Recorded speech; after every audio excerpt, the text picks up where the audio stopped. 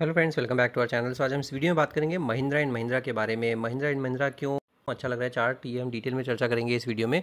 अगर आप मेरे चैनल पर नए हैं तो चैनल को ज़रूर सब्सक्राइब कर लीजिएगा। बेल आइकन दबाना बिल्कुल भूलेगा बिकॉज़ इसी तरह के इंटरेस्टिंग आइडियाज़ मैं आपको हर वीडियो में लेके आता रहता हूँ। अगर और इनफैक्ट आपने देखा भी होगा, हमने PNB के बारे में बात की थी एच लाइफ के बारे में बात की थी चंबल फर्टिलाइज़र जितने भी स्टॉक्स के बारे में हमने बात की बहुत ही बेहतरीन चार्ट पैटर्न्स बने हुए हैं। इनफैक्ट पिरामल फार्मा आपने देखा है किस तरह का ज़बरदस्त रिटर्न दिया है।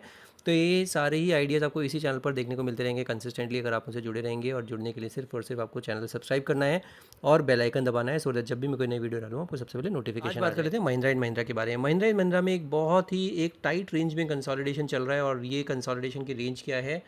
ये है ऑलमोस्ट साढ़े छब्बीस सौ से लेके तीन हज़ार के बीच में और ये आपको काफ़ी टाइम से दिख रहा होगा कि ये यहीं पर इसी लेवल तीन हज़ार के आसपास ही घूम रहा है जनवरी 2024 से लेके और अब हम पहुँच चुके हैं ऑलमोस्ट नवंबर 2024 में। तो ऑलमोस्ट एक साल हो गया है इसी रेंज में घूमते घूमते इसको और 2600 से लेके और छब साढ़े छब्बीस से लेके और 3000 ये एक ब्रॉड रेंज है और जो कि साढ़े तीन सौ पॉइंट्स की रेंज है। और अब क्या हो रहा है इसमें? अब मेरे रडार पर क्यों आया है? क्योंकि एक जो लेवल है ट्वेंटी सिक्स थर्टी सेवन या ट्वेंटी सिक्स फोर्टी मान लीजिए ये जो लेवल है, यहाँ पर ये काफ़ी बार यहाँ पर सपोर्ट ले चुका है। एक तो आप देखेंगे, यहाँ पर तो आया ही नहीं सपोर्ट लेने के लिए, यहाँ पर एक बार सपोर्ट लिया, दूसरी बार सपोर्ट लिया। थर्ड टाइम भी यहाँ पे सपोर्ट लेने से पहले ही ऊपर चलना शुरू हो गया तो ये एक अच्छी चीज़ है। और ये साढ़े छब्बीस के नज़दीक जो आपको मिलता है तो बिल्कुल लपक के ले लेना है और स्टॉप लॉस लगा लेना है। इसमें साढ़े छब्बीस सौ का या छब्बीस सौ तीस पैंतीस चालीस के आसपास का। तो ये एक बहुत ही इंपॉर्टेंट लेवल है। अगर यहाँ पर आप लेते हैं किसी भी गिरावट में, अगर मान लीजिए गिरावट में मिल जाता है तो तो आपको स्टॉप लॉस आपको एक और अच्छी अच्छा स्टॉप लॉस क्या हो सकता है? टू फाइव थ्री ज़ीरो का एक अच्छा स्टॉप लॉस हो सकता है, जो इसका टू हंड्रेड डेमा भी है। 200 एमा को अगर बचा लेता है तो फिर इसमें वापस से ऊपर चल सकता है बट अगर 200 एमा तोड़ के नीचे चला जाता है तो वो रेजिस्टेंस की तरह काम करेगा और फिर आपको बिल्कुल निकल जाना है। तो अगर आपने पास पोजीशन है तो बिल्कुल बने रहेगा नई पोजीशन दोनों तरफ़ ले सकते हैं। नीचे आए साढ़े छब्बीस के नज़दीक मिल जाए तो फिर आप वहाँ पे ले लीजिए नई पोजीशन या फिर मान लीजिए अभी ट्वेंटी नाइन सेवेंटी फोर चल रहा है तो twenty twenty nine seventy four चल रहा है ट्वेंटी सेवन नाइन्टी टू के आसपास मिल जाए ट्वेंटी नाइन हंड्रेड के आसपास मिल जाए या फिर हाँ ट्वेंटी नाइन हंड्रेड के आसपास भी अच्छा सपोर्ट है, वहाँ पर भी मिल जाता है और सत्तर पचहत्तर रुपये नीचे, और नीचे गिरे तो और थोड़ा एक्यूमुलेट कीजिए अट्ठाईस सौ रुपये के आसपास तो हर सौ रुपये की गिरावट पर इसमें एक्यूमुलेट कीजिए। और स्ट्रिक्ट स्टॉप लॉस लगा लीजिएगा ट्वेंटी सिक्स थर्टी सेवन या फिर ट्वेंटी सिक्स हंड्रेड लगा लीजिएगा, क्योंकि हो सकता है कोई कैंडल नीचे जाके ऊपर चलना शुरू हो जाए तो स्टॉप लॉस हिट ना हो आपका। और अगर बहुत ही अल्टीमेट स्टॉप लॉस की बात करेंगे तो ट्वेंटी फाइव थर्टी का अल्टीमेट स्टॉप लॉस है। ट्वेंटी फाइव थर्टी के नीचे जाएगा तो बिल्कुल निकल जाना है, सोचना नहीं है। टू हंड्रेड एमा है, अगर वो ब्रीच करता है तो फिर इसमें परेशानियाँ बढ़ सकती हैं। नई पोजीशन एक और तरीका है लेने का, और वो तरीका क्या है? इसमें अगर तीन हज़ार के ऊपर चलना शुरू हो तो फिर आप इसमें नई पोजीशन भी ले सकते हैं। और ये मैं क्यों कह रहा हूँ? क्योंकि यहीं पर आप देखेंगे तो ये बार बार रेजिस्टेंस भी फेस कर रहा है। यहाँ पर फ़र्स्ट रेजिस्टेंस फेस किया सेकंड रेजिस्टेंस फेस किया। यहाँ पर देखिए, इसी पर सपोर्ट भी लिया था इसने। इसी नेक लाइन भी है जो डबल टॉप बनाया है इसने। ये आप देख सकते हैं क्लियरली डबल टॉप बनाया और डबल टॉप का जो ये ब्रेकडाउन दिया नेकलाइन का, वो भी तीन हज़ार रुपये पर आ रही है। तो तीन हज़ार के ऊपर चलना शुरू होगा तो एक अच्छा लेवल होगा और वहाँ पर भी एक फ्रेश एंट्री ली जा सकती है thirty two hundred thirty two twenty तक के टारगेट के लिए।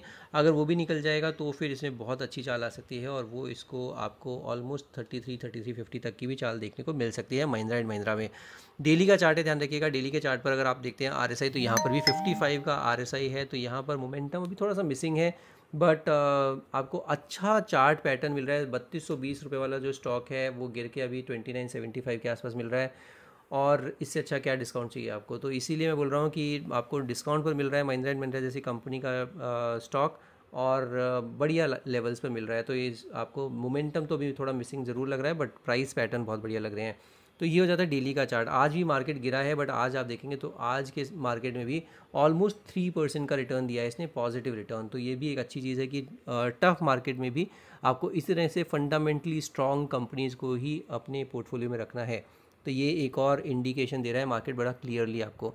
तो ये हो जाता है डेली का चार्ट। एक बार इसको वीकली के चार्ट पर भी देख लेते हैं। वीकली के चार्ट पर कैसा प्लेस है? वीकली के चार्ट पर भी आपको दिखेगा कि इसमें twenty week exponential moving average कहाँ पर आ रहा है? वो आ रहा है ट्वेंटी एट हंड्रेड पर। तो ट्वेंटी एट हंड्रेड तो एकदम इंपॉर्टेंट वाला सपोर्ट है but two five three zero जो लेवल मैंने आपको बताया, वो तो टू हंड्रेड एमा है और टू हंड्रेड एमा का बिल्कुल स्ट्रिक्ट स्टॉप लॉस लगा के रखना है। बट यहाँ पर ट्वेंटी एट हंड्रेड का भी स्टॉप लॉस लगा सकते हैं। वीकली के चार्ट पर ट्वेंटी एट हंड्रेड भी twenty week exponential moving average आ रहा है। तो और यहाँ पर पोजीशन बिल्कुल आप तीन हज़ार के ऊपर बनाइए या फिर थोड़ा सा नज़दीक बनाइए ट्वेंटी एट हंड्रेड के या ट्वेंटी सेवन हंड्रेड पे तो वहाँ पर बनाएँगे तो भी एक अच्छा एक्यूमुलेशन जोन हो जाएगा आपके लिए। और यहीं पर ये घूम रहा है बहुत टाइम से, अब ये हो सकता है अगर इस बार ब्रेकआउट दिया तो बहुत ही अच्छा ब्रेकआउट हो सकता है ये और बिल्कुल ये ब्रेकआउट देने के बाद थर्टी टू ट्वेंटी तक जा सकता है या thirty three hundred thirty three fifty तक भी जा सकता है ये। तो ये हो जाता है वीकली का चार्ट वीकली के चार्ट में भी आर एस आई देखते हैं तो फिफ्टी एट का आर एस आई है। तो ये भी एक आपको क्लियरली शो कर रहा है कि अभी यहाँ पर थोड़ा सा मोमेंटम मिसिंग है बट जैसे ही तीन हज़ार के ऊपर चलना शुरू होगा होपफुली इसमें मोमेंटम वापस से आएगा और इसमें ट्रैक्शन देखने को मिलेगा। डिस्क्लेमर की तरह ध्यान रखिएगा, महिंद्रा एंड महिंद्रा मेरी कोई पोजीशन नहीं है अभी, और बट हो सकता है पोजीशन बनाओ तो जो भी आप डिसीज़न लीजिए, अपने फाइनेंशियल एडवाइजर डिस्कस करके लीजिएगा अदरवाइज़ नहीं।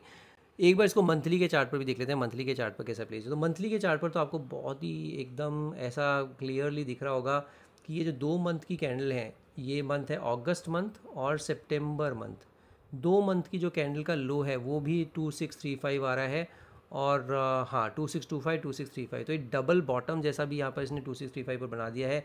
यही ब्रेकआउट का लेवल भी मैंने आपको बताया, यहीं पर ही बार बार रेजिस्टेंस ले रहा था।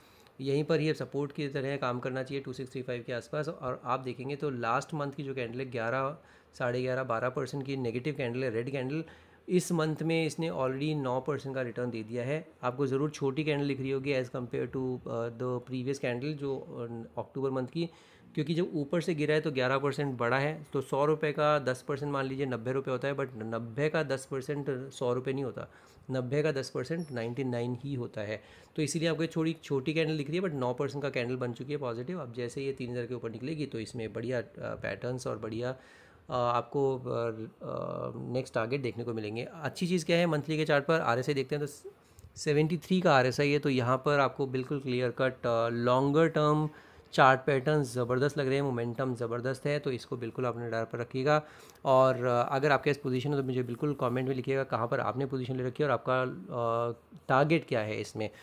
तो ये मेरा व्यू हो जाता है महिंद्रा इन महिंद्रा पर। अगर आपके पास इसी तरह के आइडियाज़ भी हैं जहाँ पर आपको लगता है बहुत ही अच्छे चार्ट पैटर्न्स बने, आप बिल्कुल लिख सकते हैं। आप लोग काफ़ी लिखते हैं बट मुझे जहाँ पर चार्ट अच्छे नहीं लगते, वहाँ पर मैं ज़्यादा वीडियो बनाता नहीं हूँ कि चार्ट स्ट्रॉन्ग होनी चाहिए कंपनी स्ट्रॉन्ग होनी चाहिए कंपनी अच्छी होनी चाहिए, वो भी बहुत इंपॉर्टेंट है। तो ये मेरा व्यू जाता है महिंद्रा एंड महिंद्रा पर, और अगर आप चैनल पर नए हैं तो चैनल को सब्सक्राइब ज़रूर कर लीजिए बेल आइकन दबाना बिल्कुल नहीं भूलिएगा और वीडियो अगर पसंद आए तो वीडियो को लाइक ज़रूर कीजिए, दोस्तों के साथ शेयर ज़रूर कीजिए। आज की वीडियो में सिर्फ़ इतना ही will see in the next video thank you so much for watching this video